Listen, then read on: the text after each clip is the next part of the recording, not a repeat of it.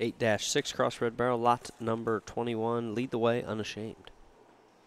Yeah, the uh, the unashamed sow here has done a nice job for us. Uh, there's there's multiple 18 litter unashamed, and their grandma was a, an old distinct sow, uh, distinct wake up actually. That's done a great job making uh, show barrows and uh, just stuff that's uh, fed fed extremely well. Grandma actually would be uh, the aunt to the barrow that won North American back in 18.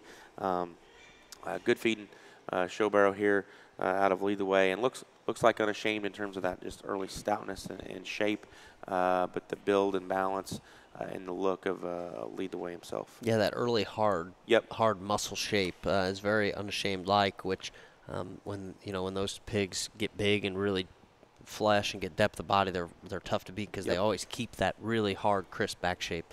Uh, this one's no exception. Good looking, flexible sound, comfortable, uh, Uh, square off both ends. Uh, looks like he could feed. 8-6, lot 21.